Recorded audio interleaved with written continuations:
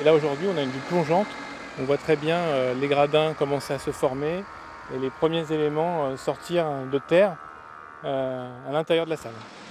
Après six mois de travaux, le premier mur d'enceinte, dont les fenêtres ressemblent à des égaliseurs numériques, est achevé.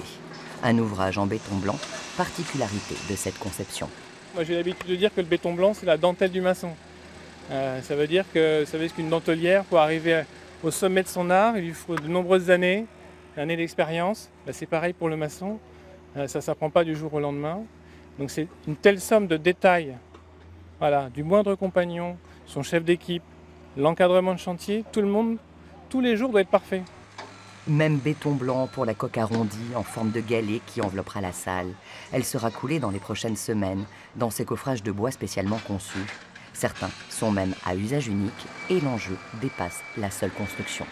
Les difficultés d'une salle comme celle-là, c'est de maîtriser aussi l'acoustique. Le moindre petit trou dans un mur, ça s'entend de l'autre côté. Cette aréna, selon les configurations musicales ou sportives, accueillera de 2500 à 11 000 personnes. L'ouverture est prévue pour le premier trimestre 2018.